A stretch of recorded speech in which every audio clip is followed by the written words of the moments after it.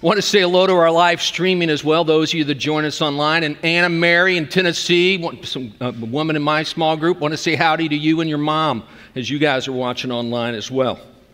Page 850, Mark 14. Mark 14.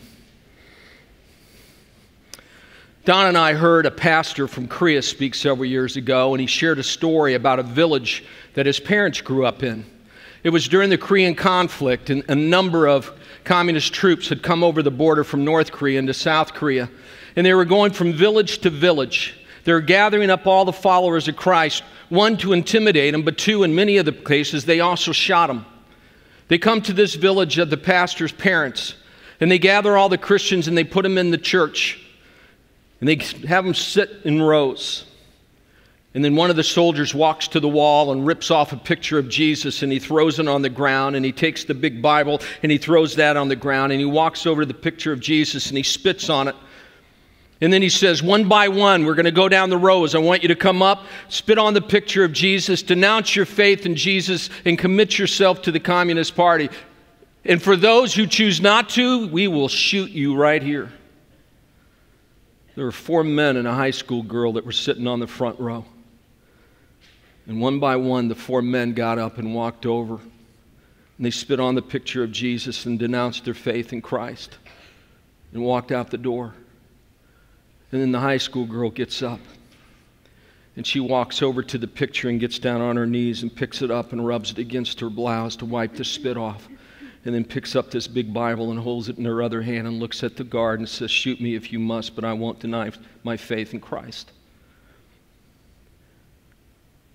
What would you have done? What do you think you would have done? Thankfully, we don't live in a country where that is liable to take place, at least anytime soon. The chance of us denying Christ by our words may be slim, but far too many of us deny Christ not by what we say, but what we choose not to say. We deny Christ not so much by what we say, but what we choose not to say. And we're going to take a few minutes this morning take a look at that. Let's pray. Father God, we invite you in this room, and we do that purposely. We know you're everywhere all the time, but we are mindful that we are desperate to hear from you. Father, speak to us. Will you whisper in our ear, nudge us in our heart? Father, I would pray those things that are from me and not from you would quickly be forgotten, for I will only tend to confuse. It's when I say your words after you, Isaiah 55 reminds us that your words never return to you void. They accomplish your agenda in the hearts of people. We trust that again in this moment. And Father, may we be, as the book of James says, not merely hearers of your word, but we would be doers of your word. Fill us with your Spirit, who is our teacher and convictor and our encourager, the one who makes much of Jesus. Now, with our heads still bowed, let me ask you to pray this prayer maybe this morning. Father God, give me a courageous faith. In Jesus' name, amen. Mark 14, it's on page 850, so you can follow along. We're going to walk through this chapter. We're moving toward the cross. If you remember, we talked about that the first seven chapters of the Gospel of Mark, the story of Jesus' account, was an explanation of Jesus as the King. And then in chapter 8, things switch, and Jesus now begins to move toward the cross. And so, as Lisa said, Good Friday and Easter right around the corner, we want ourselves to understand the context as Jesus is moving toward the cross. And so, I'm going to walk us through much of chapter 14 and make some comments, and then stop in two particular places and ask ask, how might this apply to us? So let's look at verse, uh, chapter 14, verse 1. It was now two days before the Passover and the feast of unleavened bread, and the chief priest and the scribes were seeking how to arrest Jesus by stealth and kill him. I mean, that we know that's been the purpose of the religious leaders from the get go. They're intimidated by Jesus. They don't know what to do with Jesus. Jesus is gathering a large crew of people to himself, and the religious leaders want to put an end to this right now. And so they want to put together a plan. Passover is coming. So in verse 12, the disciples of Jesus go to Jesus and say, Where are we going to celebrate the Passover? Because it's very important. It's critical that all Jewish folks have this opportunity to celebrate the Passover, which points back to the book of Exodus when they came out of the land of Egypt. In verse 13, and Jesus sent two of his disciples and said to them, Go into the city, and a man carrying a jar of water will meet you. Now, let me pause there for a moment. That would stand out in this culture because men didn't carry water, that was the role of a woman. And so a man carrying water would be something that would stick out like a sore thumb. It also tells us a little bit where the, he celebrated, where they partook of the Passover meal. They probably did it in what's called the priestly quarter in the city of Jerusalem. And I'll show you in just a moment where that might have been. He says, Jesus says, follow him, and wherever he enters, say to the master of the house, the teacher says, Where is my guest room where I may eat the Passover with my disciples?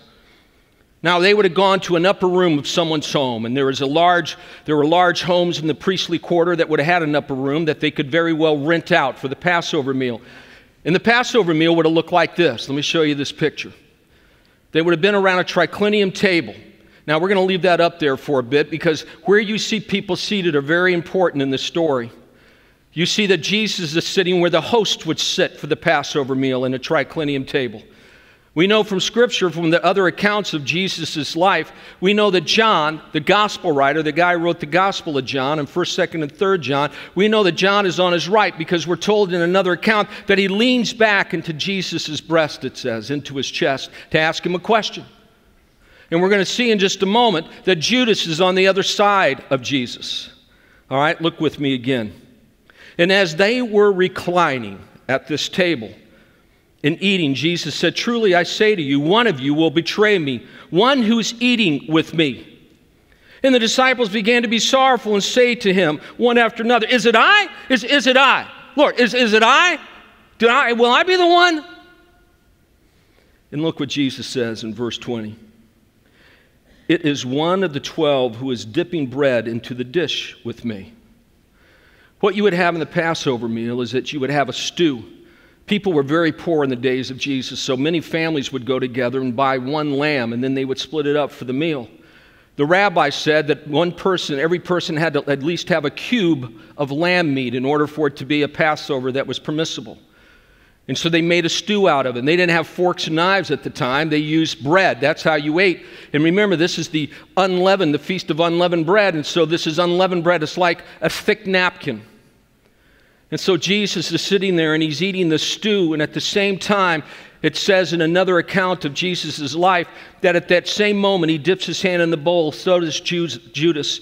And Jesus turns this way and he looks at Judas and says, Go do what you must do.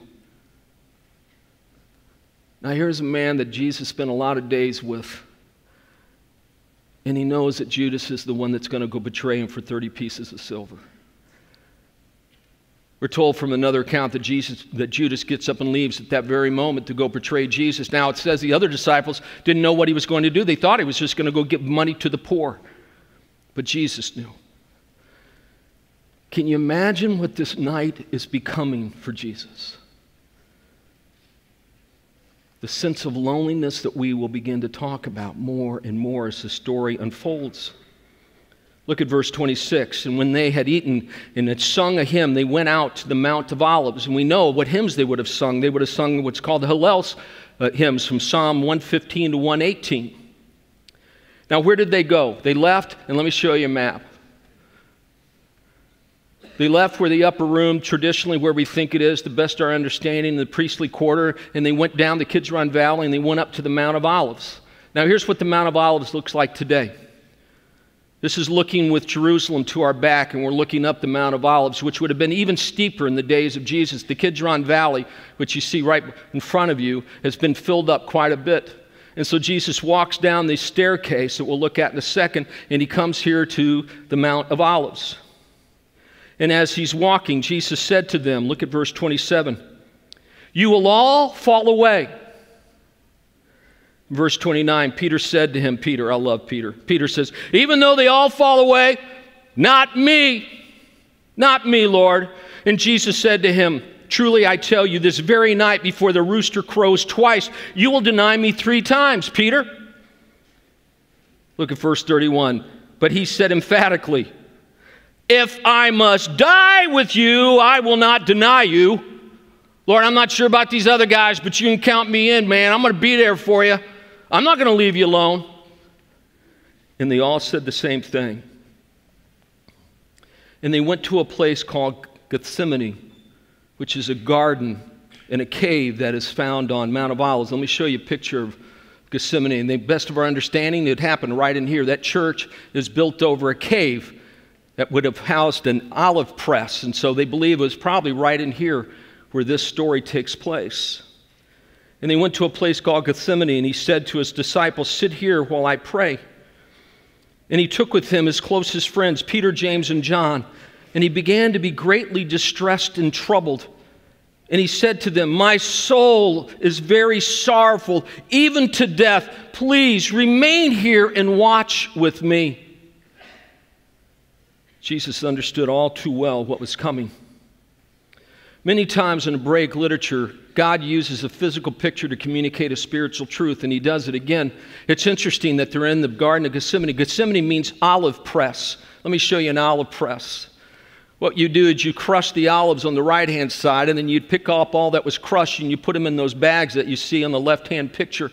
You'd put a weight on top of it, a big stone, and then you'd have this contraption of this long pole, and you'd lay various types of weight on it, and you'd get four, uh, four drawings of this oil. Now, what's going on here is Jesus is praying in the Garden of Gethsemane. He is being pressed down like an olive press in the book of Luke, written another account of the life of Jesus, written by a historian, someone who talked to eyewitnesses. Here's what he writes about this very moment. We'll put it up here. And in being in agony, Jesus prayed more earnestly, and, he, and his sweat became like great drops of blood falling to the ground. He is being pressed down with the weight of what's to come, the suffering that he knows is to come. Look back with me again at verse 35. In going a little farther, he fell on the ground and prayed that if it were possible, the hour might pass from him. And he said, Abba, which means dad, dad, father, all things are possible for you. Remove this cup from me, yet not what I will, but what you will. Again, that physical picture and spiritual truth, this idea, the cup of suffering, something that is going to be poured out on Jesus in a matter of hours. He prays this prayer and he gets up and he walks back to his three friends and he finds them asleep and he says to them, Can you not stay awake? Can you not stay awake for me? And they go, Oh, Lord, yeah, man, we're with you, sorry. And then two more times, Jesus walks over and he prays this prayer, and each time he comes back, he finds them asleep. Now let's pause here and let's draw some things from this. Look again at verse 36. Abba, Dad, Father, all things are possible for you. Remove this cup from me, yet not what I will, but what you will.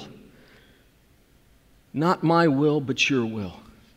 The six hardest words for us as followers of Christ to pray. Right here. Here's the battle. Not my will, but your will. Here's the goal of every follower of Christ not my will, but your will. Every moment of every day, with every decision, we need to be saying, Not my will, but your will.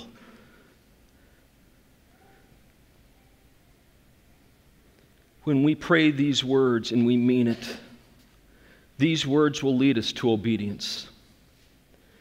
We will find contentment in doing the right thing. We will find joy in doing God's will because when we do God's will, we find Jesus. To do God's will, not my will, but God's will, will always bring us to the best possible place. Always bring us to the best possible place, which is smack dab in the middle of God's will. Because when we're in God's will, that's where Jesus is.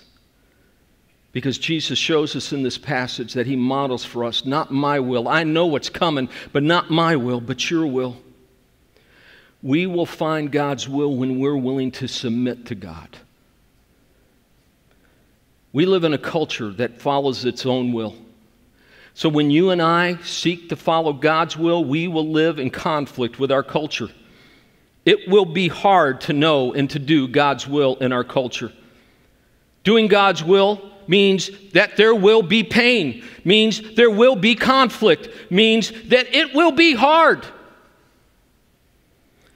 God's will will be uncomfortable and challenging for us. there is an inherent danger in following God's will. When we send people to move to the Middle East to engage, it's an inherent danger. When some of us have picked up and moved into difficult neighborhoods in the city of Chicago, there's an inherent danger. When some of us follow the call on our life to be police officers or firemen or the military or other things, there is an inherent danger. And Jesus prays in the garden knowing there is an inherent danger that is coming for him. But not my will, but yours. This is the battleground for every one of us. Not my will, but yours. It is a battle because we have convinced ourselves that we really should be seeking safety, that we really should be comfortable, that none of these things should take place. We're followers of Christ. Everything should be easy for me now. And there's a battle between our will and God's will because of it. We have convinced ourselves that we know best for ourselves, or we've convinced ourselves that others who agree with us really are the ones we need to follow. We seem to pursue everyone but Jesus in pursuing what God's will is for our lives. Not my will, but your will. Far too many of us are driven with the fear of missing out when it comes to our will. I don't want to miss out on what satisfies me, so I'll do what I want when I want to, with whom I want to. I don't want to miss out on dating, so I'll ignore God's wisdom for me and who I choose to date and how I choose to act on a date. I don't want to miss out on marriage, so I will marry who I want to without any consideration for what God's designed for marriage is. I don't want to miss out at work, so I'll take credit for what I didn't do. I'll fudge numbers to my benefit and I will power up on others to get what I want done. I don't want to miss out. I don't want to miss out on seeing my nieces and nephew grow up, so I'll ignore the conviction and the nudge from God to pick up and to move overseas. Not my will, but yours. What is God's will? How do we know God's will? Well, we know that God is very clear about some things in Scripture, like make disciples of all the nations. We know that we are to express ourselves by doing the one another's, love one another, serve one another, encourage one another. That's God's will. Every command in Scripture that God has given us is God's will. Let me just show you three, and we'll put them up here. You want to know what the will of God is? Here are three. One, the first one be filled with the Holy Spirit. Every follower of Christ, be filled with the Holy Spirit, the presence of God in your life. Be empowered by the Spirit. We've talked about this when we studied through Ephesians.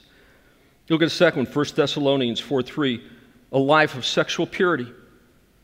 Because our body is the temple of the Holy Spirit designed for a greater purpose than which we use it. That's God's will.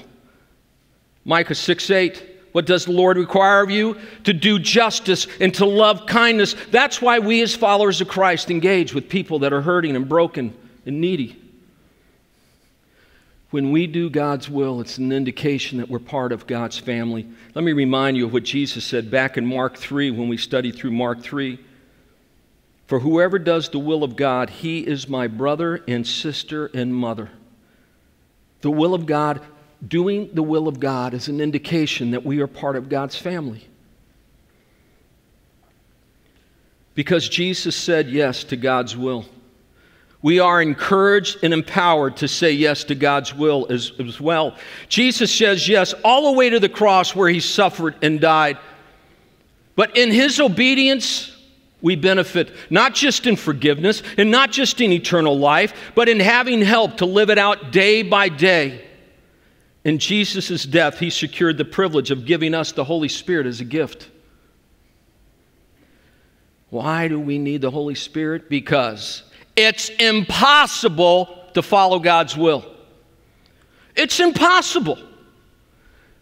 And God's not malicious. God doesn't say, here's my will, and then stand back going, let's see how this goes. So, what God does, knowing that it's impossible for us, God says, then I am going to come and take up residence in your life, my presence in you, in the power of the Holy Spirit, and I will empower you to obey. I will encourage you to obey. I will bring my will to mind in your life, and I will convict you when you begin to stray. I am committed to you to live according to my will because I know when you live according to my will, it's the best place for you to be. All followers of Jesus, we need help. We need help in saying, not my will in dating, but your will in dating. Not my will in marriage, but your will in marriage. Not my will in the workplace, but your will in the workplace. Not my will with family and friends, but your will. Not my will with my time and my resources, but your will. All right, look with me at verse 42. Jesus says, Rise, let us be going. See, my betrayer is at hand. And immediately, while he was still speaking, Judas came, one of the twelve and with him a crowd with swords and clubs from the chief priests and the scribes and the elders. And we'll talk more about this on Good Friday. Skip down with me to 53. And they led Jesus to the high priest, and all the chief priests and the elders and the scribes came together. Let's go back and take a look at that map again. So he's in the Garden of Gethsemane, and he comes back up the very same staircase, but now he goes to the high priest's house. They have found the high priest's house, Caiaphas's house. Look at 54, and then I'll show it to you. And Peter had followed him at a distance, right into the courtyard of the high priest, and he was sitting with the guards and warming himself at the fire. Now they come to the high priest's house. Here's what it looks like today. They built a church over, which is pretty typical in Israel. Wherever something significant happened, they built a church over it in their mind to preserve it. And so there it is. How do we know it's Caiaphas' house, the high priest's house? Because one of the things they found in is they found a jail cell because he had his own soldiers, he had the temple guard, and it was his job to keep order at the, on the temple mount. That when they found people out of order, they could arrest them and they bring them to the trial at Caiaphas' house, which was very large. This would have been the cell that Jesus would have been in. You see, that's a hole. They would have dropped him down in the hole into the cell that you see on the bottom. To get him out, they'd have put a rope down and he would have wrapped it around himself under his arms and they would have pulled him out. Let's go to the next picture. Here's the courtyard of the high priest. And what you see the arrow pointing is the staircase. There is a long staircase that goes from the Caiaphas' house up in the top of Jerusalem, all the way down into the valley, of the Kidron Valley. A Kidron, uh, there was a stream, a river that flowed there, up into the Mount of Olives, to the Garden of Gethsemane. So we know Jesus walked down this staircase, and now he walks back up this staircase. Here's what happens. Look with me at verse 55. Now the chief priests and the whole council were seeking testimony against Jesus to put him to death, but they found none. They brought in all these witnesses and all these false accusations, and they couldn't even agree. And they just out and out lied. And then in verse 60, and the high priest stood up in the midst and asked Jesus, Have you no answer to make? What is it that these men testify against you? And Jesus remained silent and made no answer. And again, the high priest asked him, Are you the Christ, which means literally the Messiah? Are you the Messiah, the Son of the Blessed? And Jesus said, I am. And you will see the Son of Man seated at the right hand of power and coming with the clouds of heaven. There you go. There's the money statement for the high priest. And the high priest tore his garments and said, What further witnesses do we need? You have heard his blasphemy. What is your decision? When someone blasphemed, you ripped your clothes. This is a way to say to them what they've do, they're doing is so wrong. And they all condemned him as deserving death. And some began to spit on him and to cover his face and to strike him, saying, And prophesy! Going up and covering his eyes and hitting him upside the head. And it says, The guards received him with blows. They continue to beat him. Now, why this is all taking place in the house. Verse 66 says, And Peter was below in the courtyard. Now remember what Peter says to Jesus when Jesus says, You're going to deny me, Peter. Even though they all fall away, I will not. Verse 31, he said emphatically, if I, might, if I must die with you, I will not deny you. Now, do you remember something that we've talked about in the past? That John Mark wrote his gospel based on Peter's sermon notes? That he was very connected with Peter and he heard Peter preach and share these stories over and over again. So, what we have here is we have Peter's account, his honest account of himself. Look at verse 66, the second half. And one of the servant girls of the high priest came, and seeing Peter warming himself, she looked at him and said, You also were with the Nazarene Jesus. Uh huh, yeah, I recognize you. In Peter in 68, but he denied it. Just rolled right off his lips so easily. I neither know nor understand what you mean. No comprende. And he went out into the gateway, and the rooster crowed. Now, that should have been Peter's indication. What have I done right here? You know, the thing I love about the Bible is the honest account of the failings of God's people. And goes on, verse 69 And the servant girl saw him and began again to say to the bystanders, Hey, hey, hey, look, see this guy right here? Right here, look at him. This is one of them right here. Yeah, you, you. You imagine the fear and the loneliness that is bubbling in Peter in this moment. And after a little while, the bystanders again said to Peter, Certainly you are one of them, for you're a Galilean. Your accent and your clothes give you away. But Peter began to evoke a curse on himself and to swear, I swear I don't know this man of whom you speak. I don't know what you're talking about. Verse 72 And immediately the rooster crowed a second time going back to Luke that adds to this drama. In Luke 22, verse 61, Jesus is brought out into the courtyard for whatever reason, but he's brought out into the courtyard, and the Lord turned and looked at Peter. Their eyes meet. The rooster crows. Jesus sees Peter, and Peter feels the weight Peter remembered the sayings of the Lord and how he had said to him, Before the rooster crows today, you will deny me three times. Look at the last part of verse 72. In this fisherman, this man's man, he broke down and wept. Gospel of Mark was written in Greek. And in the Greek language, this word wept means to grieve. It means to grieve over shame. You know, you and I read this and may, may be surprised that Peter's blatant denial, even after being warned, even after the rooster crowed once. But you know what? There's a piece of Peter in all of us.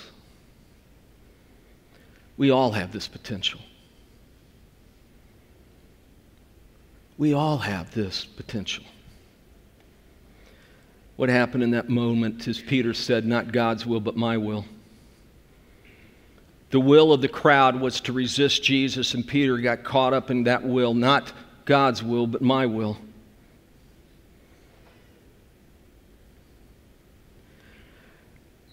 You know, in America, the likelihood of being in Peter's position, or even the Korean young woman, is slim, at least today. We don't deny Jesus by what we say, we deny Jesus by what we choose not to say. The pressure of being a professing follower of Christ is becoming worse and worse. To hold a biblical view and have biblical values in our culture is becoming harder and harder.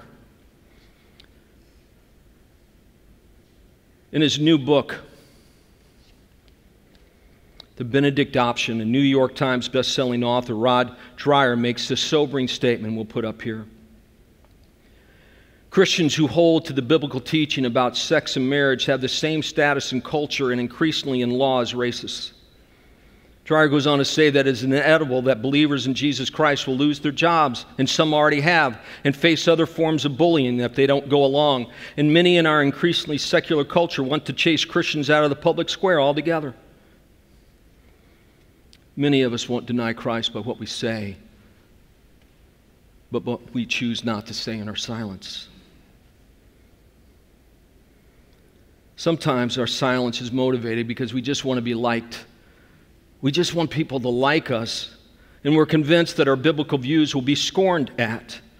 We love Jesus and we want to live for him, but we also got to live in this culture. So, how can we kind of lower the heat? Or for some of us, we come to a compromise with ourselves. How little can I say and how little can I do and still be at peace with myself and in my relationship with Jesus? For some of us, we just don't want to conflict with others. We say to ourselves, this is what we choose to believe, but whatever they choose to believe, that's fine for them. We don't want to impose our views on anyone. Maybe for some of us, at the end of the day, we're really not convinced that what Jesus says is really true. We are not convinced that the creator of the world has made us and has designed what life looks like the best. This is what life looks like the best. And we just go, well, maybe it's just best for his followers. And I wonder if times maybe we're just not convinced that eternal life is all that important for anybody else but us. How many times have you had a conversation with somebody, someone you care about, someone you love, and they talk about what's going on in their life, the difficulties they're having, the pain they're experiencing, the bitterness, the unforgiveness, and you think to yourself, man, if they only knew Jesus. Man, if they just knew Jesus, Jesus could deliver them, Jesus could re- save them, Jesus could empower them to work past some of this stuff. And yet we remain silent. We deny Jesus not by what we say, but by, by what we choose not to say. Back in Mark 8 38, Jesus says this, and we'll put it up here for you. For whoever is ashamed of me and of my words in this adulterous and sinful generation, of him will the Son of Man also be ashamed when he comes in the glory of his Father with the holy angels. Wow. That is sobering to me. We deny Jesus not by what we say, but what, by what we choose not to say. And let me just take this one step further. As followers of Jesus, we can't be silent on issues in our culture. Where is the voice of Jesus? It is in the mouths of his followers. We must speak up when it comes to issues of children. We must speak up around slavery. We must speak up around the sex trade. We must speak up around the unborn. We must speak up around immigrants and refugees. We must speak up around racial inequality. We must speak up, and we are far too silent.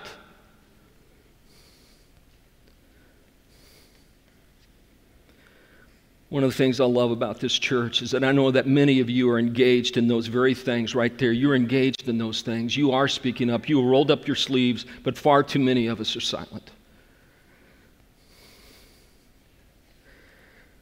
Over the last 18 months or so, we as a church have been trying to learn how to engage better with cultural issues. And I know that it has bothered some of you. It has made many of us uncomfortable, me included. And you ask, Jackson, why are we doing this? I've been here 13 years, and for 11 and a half years, Jackson, you've been here. We've never talked about these things, and all of a sudden now we are. Why now?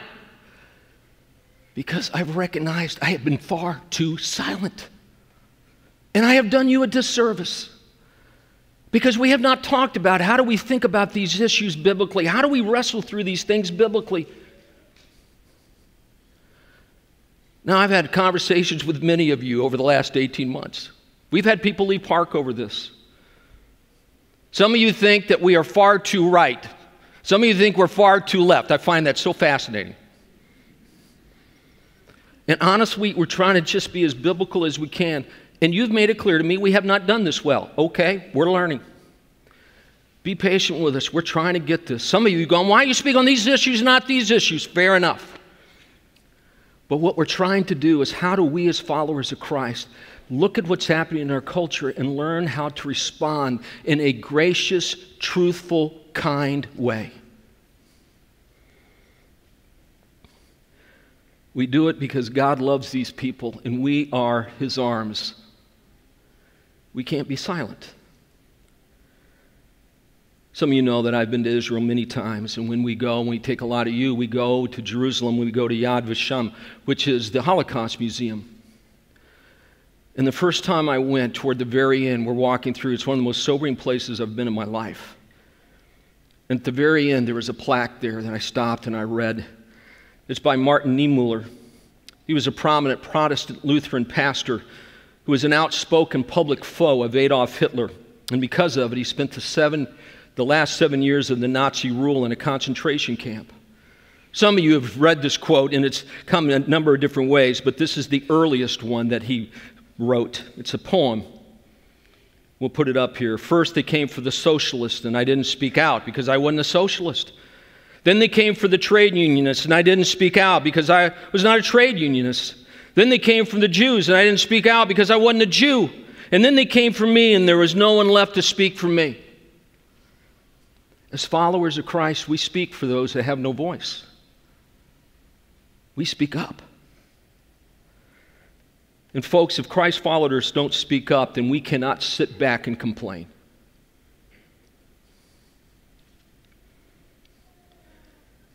Jesus did not deny us on the cross. He did not deny us His grace. He did not deny us His generosity. He did not deny us the Holy Spirit. And unlike Peter, Jesus stands with us in our hardest time by standing in the hardest place, which is on the cross for us. But unlike Jesus, far too many of us are silent. And thankfully, Jesus was not silent, for on the cross he says, Father, forgive them, for they know not what they do. That even in the garden, John 17, the gospel writer of John tells us that he prays for us in his most difficult hour. It's in the worst moments of Jesus' life he speaks up on our behalf. And now it's our privilege and our responsibility to speak up for him. Let's bow our heads.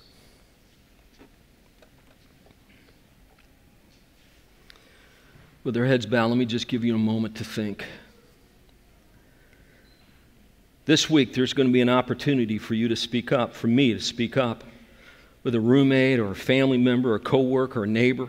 Maybe it's a situation that you observe and you feel prompted to speak up, and the question is will we be silent?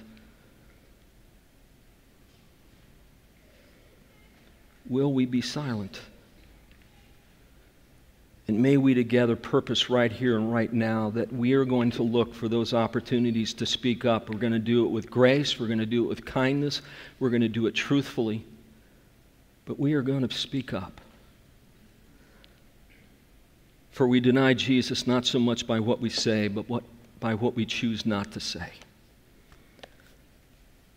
Oh, Father God. May we find ourselves smack dab in the middle of your will, not our will, but your will. And as we live in your will, may we be courageous to speak up. May we think well about the issues in our culture, and may we speak up. Help us, Father God, in our fearfulness. In Jesus' name we pray.